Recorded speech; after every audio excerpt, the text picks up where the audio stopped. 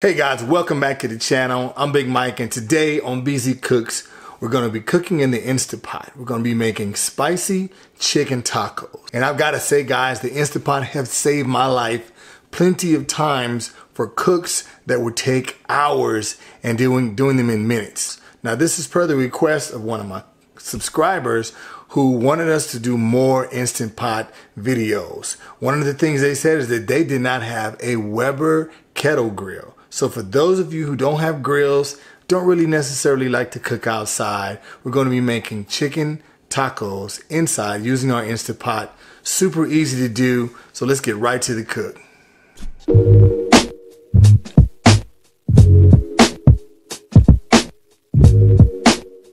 Okay guys, let's go over these ingredients. So we're gonna start off with the star of the show, and that's going to be our boneless, skinless chicken breast. Now you can use chicken thighs if you want, it's totally up to you. But I'm gonna use chicken uh, breast today, okay? All right, we've got one uh, 15 ounce can of fire roasted uh, diced tomato. Um, we've got a half teaspoon of ground black pepper, teaspoon of granulated garlic powder, okay? We've got a teaspoon of cumin, one teaspoon of chili powder.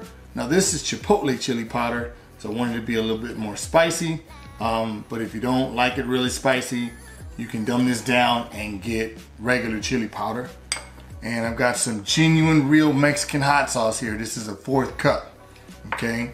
Um, the green onions, the cilantro, and the jalapeno peppers is pretty much gonna be garnished for, for the tacos. And you'll see that when we make them. I'm also gonna add some avocado to it too.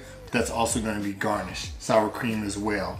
You're gonna need some low sodium chicken broth. Now this is what we're gonna use to cook our chicken in. We're gonna need one cup of this, okay? So stay tuned, we're gonna get right to the overhead shot of the Instant Pot. You're gonna see us cook this and stay tuned guys. All right guys, real easy to get this started. As you can see, we're just throwing our chicken breast into the Instant Pot. Real super simple. Um, next we're gonna add our chicken broth. That's low sodium chicken broth. We want to keep that salt content down as much as possible. Here are our fire roasted tomatoes. Super simple to do.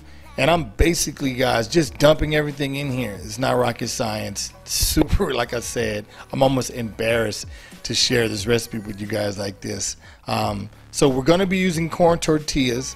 I just want to let you guys know that if you want to do like a super like keto version of this, you can do these in lettuce wraps. So get some lettuce to make your tacos. But other than that, guys, I basically just dumped everything in here and I'm going to take a wooden spoon and stir all the ingredients in.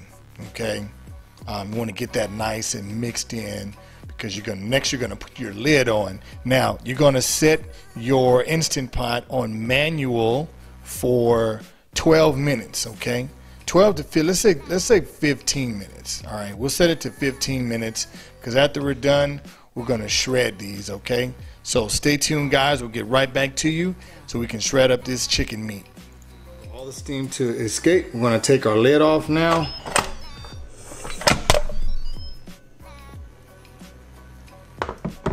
nice and steamy. Okay, now this smells heavenly delicious, y'all.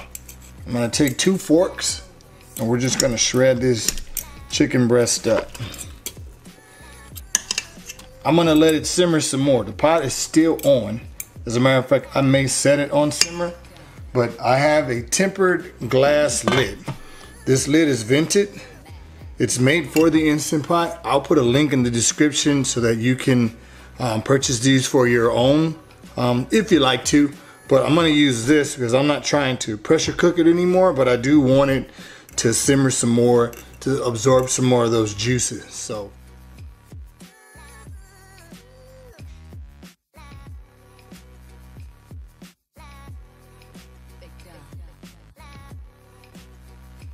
All right, guys, so we are done with our chicken for our tacos. I've already taken the liberty and I've made four. so I'm gonna eat these. Let me let you get a look at these. Check that out. Now, what I'm gonna do is I'm gonna make one. and Show you how we put these together. All right, just for demonstration purposes, you're gonna take a slotted spoon and take out some of the chicken that you've shredded. Make sure you use a shredded spoon because you want you don't want to transfer a lot of juice over to you. You don't want a soggy taco. So I'm gonna get some chicken here. Set some down right there. I like really meaty tacos, so I'm gonna get a little bit more. Don't be jealous.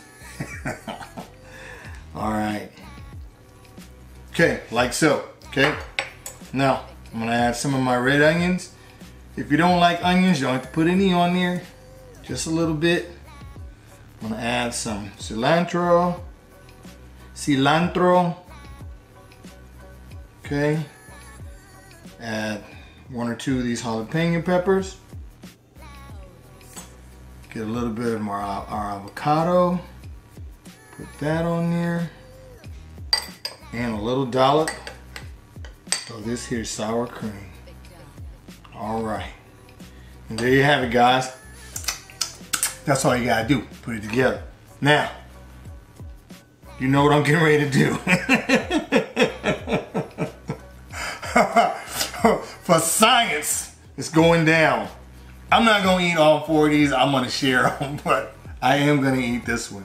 So I'm gonna eat this so I can tell you how it tastes. You gotta know how it tastes, right? For science. Mmm. Oh, wow. Man, this is a flavor bomb. With the cumin and, okay, now I'm getting a little bit of that spice. Oh man, you cannot go wrong. Enough said, guys. You have got to make this for yourself. As you can see, it's a super simple, easy recipe to make. If you've got an Instant Pot, you can do it. If you don't have an Instant Pot, you can do this. Just do it in a regular pot and it's gonna take longer. Okay? So with that being said, guys, if you're new to the channel and you're not subscribed, quit playing with your life and hit that subscribe button, okay? Hit the like button, leave a comment. For those of you who are subscribers, thank you for coming back to the channel. We got more videos to come. This is Big Mike with BZ Cooks.